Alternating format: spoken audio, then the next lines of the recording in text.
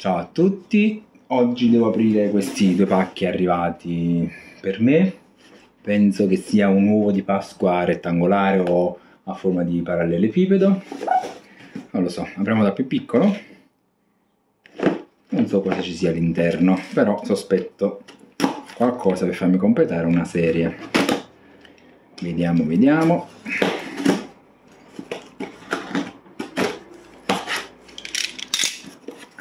Unboxing numero 1 leggiamo prima. Mm. Mm.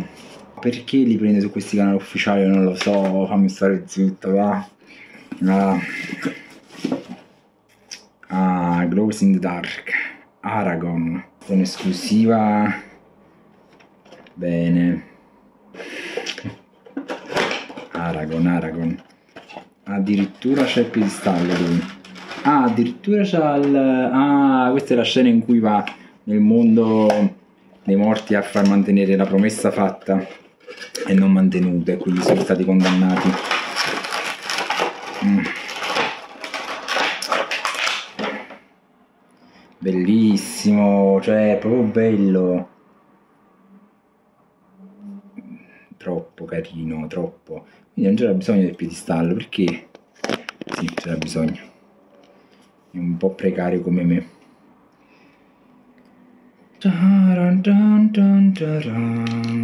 Bello, bello, bello, bello. Anche se ha speso troppo per questo qui. Non è, col, non è 1444, vabbè sarà un numero a parte questo qua, perché in questa wave non c'è.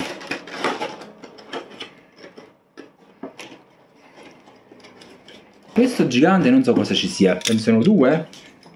Boh. Ne è uno, e perché uno scatolo così grande per uno?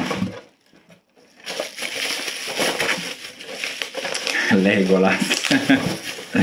Bellino assai. Ma pure questo c'è lo scontrino all'interno, ma com'è possibile questo fatto? No, ma pure questo tutti i soldi sta, ma, ma, ma, io non lo so. Ma perché si è messo... Ma... spendere tutti i soldi, io non lo so. Legolas, bellissimo pure lui. La freccia è storta perché hanno messo male nello scatolo.